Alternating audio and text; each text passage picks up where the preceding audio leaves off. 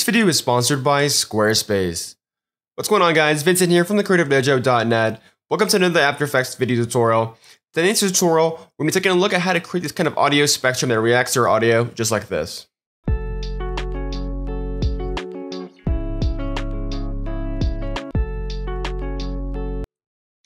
So it's a pretty neat effect. This is actually inspired by the YouTube channel Chill Nation. They do a lot of audio visualizers just like this for their tracks. A lot of audio YouTube channels do this for their tracks so that you're not looking at just a still image for the album cover or for the whole entire video. Um, but this is just another way to kind of visualize your audio for your video, completely built with After Effects built-in plugins and tools. Let's go ahead and get started here. So I have this demo tutorial comp right here. And basically this is a 1080p comp. It has our background image right here, which is just a regular image that I found on Unsplash.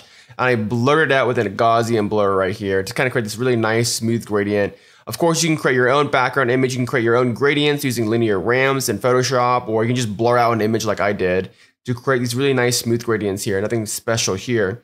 I also have my music imported right here. This is an MP3 file, um, links and credits down below, but this is just my music track right here. And if we hit LL on the keyboard, you can actually kind of see the track right here in the audio waveform. So this is our track. So these are two layers into our timeline. Let's go ahead and build this out. So I also have my logo right here, which I'm going to drag in. This can be your logo, your YouTube channel. It can be whatever you want, your own graphic, your own video.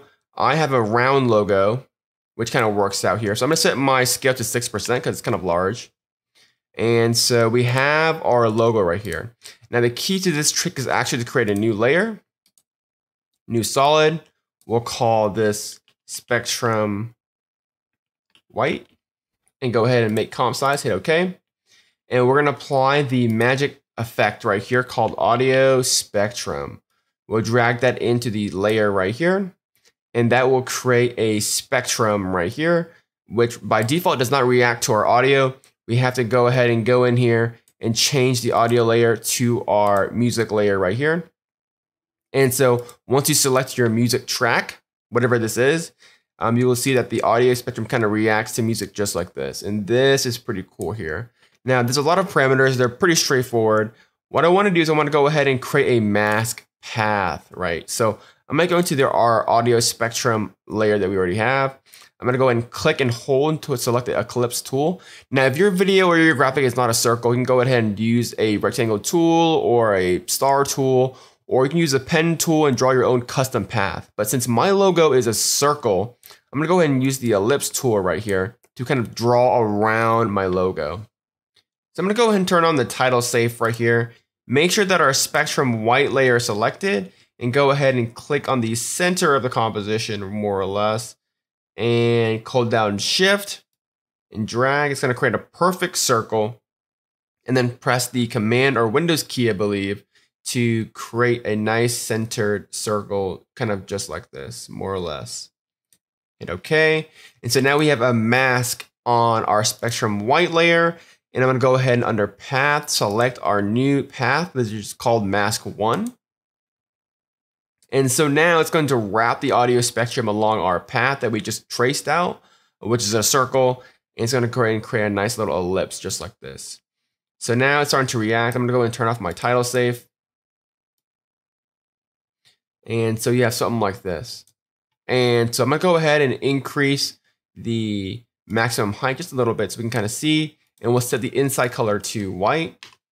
And in this particular case, I'm gonna go ahead and set the outside color to the same color as the inside color. So I'm gonna go ahead and hit down Alt or Option on the stopwatch and just pick whip the outside color to the inside color. Or if you're lazy, you can go ahead and just select both white colors right here. Um, they'll come in handy whenever we start duplicating this thing a little bit. All right, so now that the inside color is white, I'm gonna go ahead and increase our thickness a little bit and go ahead and decrease our softness a little bit. So this is our audio spectrum. This can be a look on its own right here. I'm gonna go ahead and rather than having it kind of um, shoot upwards and downwards, I just wanted to shoot upwards. And I believe that is side B right here. So now the spectrum kind of just shoots outwards rather than both right there. And I'm gonna go ahead and kind of define the frequency bands right here to kind of increase the density right here. And so you kind of want it to be more or less pretty solid. more or less. And the key to this thing is we want to define a start and end frequency. So right now the range is really, really high. So right now this audio spectrum is showing the frequency from 20 to 2000. So it's pretty much displaying the whole range of the track right here. Now I want this white area, this white spectrum to be mostly the bass, which is the lower end frequency. So as you can see right now, it's very, very small. It's very, very detailed spectrum because the range is really, really high. Now, the smaller the range is right here, the less detailed and the larger their frequency would be in terms of visualization. So I want this frequency to be kind of at zero to maybe, let's just say 200 or so. And as you can see already, the detail has become a lot less because we're trying to just show um, 1 to 200 frequency in this large area right here. So the detail is a lot less. Now things are being cut off right now because we have our mask applied. I'm going to go ahead and click on our mask and set it to none. And so now we're gonna we're gonna have our full spectrum as right. So as you can see, if we go ahead and increase the end frequency, we get a lot more detail in the spectrum, and we don't want that. So we want to set things kind of low between the start and end frequency. So from one to 200, I think is a good set for this tracker right here. And this is going to display most of the bass right here, as you can see. Now, don't copy these numbers willy-nilly because this really depends on your track. If your track has a lot of high-end frequency, then you might need to shift these numbers up. If your if your track is mostly bass, you want to keep these numbers kind of low to match the frequency right here. And so from 1 to 200 is kind of good for me, maybe even 150 or so for this particular track, just to really show the bass right here. I'm gonna go ahead and decrease the maximum height. We don't want it to be that uh, that heavy here. All right, so we have our first spectrum right here. And now pretty much the rest of it is gonna be just duplicating it and kind of adjusting it as so. So for example, I'm gonna go ahead and duplicate our spectrum white. We'll call this spectrum yellow. And we'll go ahead and bring it underneath our logo in this particular case. And I'm gonna go ahead and change the inside color to a kind of a bright yellow or so. And so right now it looks the exact same as the white. We wanna shift our frequency. So We've already covered from 1 through 150 from our white spectrum. Let's cover 150 to, let's just say 250 with our yellow. And we'll go ahead and increase the height too. So now you start to kind of see the white is going to show the bass, and then the yellow is going to show just a little bit higher frequency than that as well. And we'll go ahead and duplicate this one more time, and we will call this one spectrum red. And I'm gonna go ahead and change the color to a nice between a red and a magenta color, something like this right here. And again, we'll bump it up from 250 to let's just say 400 or so. So the red is gonna show a different spectrum of the song, just like this. Maybe we'll crank up the height to 580. And then we're gonna go ahead and do this one more time. We'll call this Spectrum Blue. And it's the exact same thing. We'll change the color to a nice blue color. As such. And in this particular case, we'll do maybe 400 to 600 or so. And we'll crank up the height for that as well. So now we're starting to have a nice little spectrum like this. And we're gonna go ahead and go ahead and duplicate this one more time. And we'll call this spectrum green. And lastly, we'll change the color to a green color. And we'll set the frequency from 650 to let's just say 800. And again, these values will change depending on your particular track and the frequencies of your track. Um, but this is what kind of works for my track right here. All right, so you have all your spectrums and they're pretty much reacting to audio right here. Now what I want to do next is kind of animate my logo to where it's kind of like doing a nice little bass kick with the scale so that your logo is just not sitting there. And a quick way to do that is going to go and select our music layer right here, our audio layer. Go to right click, keyframe assistant, and click convert audio to keyframes.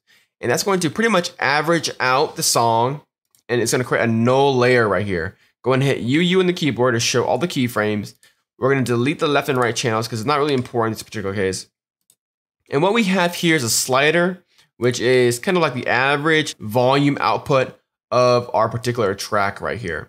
And so these values correlate to our track volume, and we can kind of use these values to kind of animate our logo based on the loudness of everything. So we can go ahead and click on our logo right here, hit S on the keyboard for scale, hit Alt or Option and click on the stopwatch for an expression so we can enter in an expression.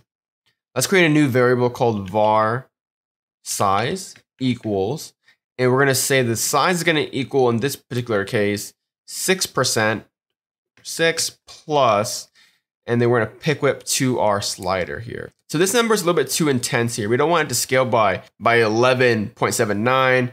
Um, we wanna go and divide this by 100 or so. Um, and this particular number works best for my particular comp. And then we're gonna do semicolon, and then bracket size, size. Then semicolon, hit OK. And so it's gonna make my logo at least 6% in size, and it's gonna plus whatever this stuff is divided by 100 to kind of animate my Creative Dojo logo based on the loudness of my track here. So you kind of get that kind of uh, bass kick, drum kick kind of look for your logo as it kind of animates bigger and smaller on the loudness of the track here. And so essentially, this is kind of how you create the whole thing. Um, as you can see, you need to go in there and kind of play around with the maximum height and play around with all the frequencies and thickness and everything like that to really tone in the look that you're going for. What I did in the final example was I actually created an adjustment layer here. We call this glow, and I added a glow effect to everything here. I actually added two glows, one for the overall kind of atmosphere right here. Go ahead and increase the radius. Uh, just a very diffuse glow, just to kind of give it a subtle glow like that. And then I added another glow, really increase the threshold right here, really increase the radius, and then decrease the intensity. And you can apply this glow individually to all the spectrums. You can even go ahead and change the blending modes from, from normal to screen or add to create a different look right here for the spectrum visuals. And then what I also did in the final example was I actually created another adjustment layer and call this RGB. And I actually applied a RGB split effect from Red Giant Universe this is actually a paid plugin, so this is not built into After Effects. So you might not have this unless you have Universe. Um, if you want a free alternative, you can go ahead and use my Dojo uh, glitch script to kind of create a chromatic aberration effect right here. But you know, with something like this, you can create a subtle, subtle RGB split chromatic aberration effect, and you'll create something like this, which reacts to your audio right here. Now, the way this spectrum works is it actually warps around the start to the end in a circular path based on our path. So you look at this little harsh edge right here. I'm not exactly sure what the best way to solve this is. So if you guys have any ideas, let me know in the comments down below.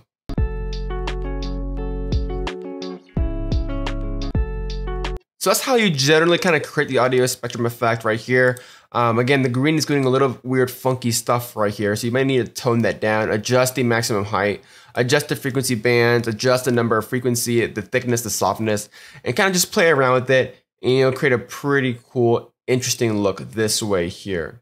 If you wanted to, you can go into your background layer. In this case, this is just an image layer.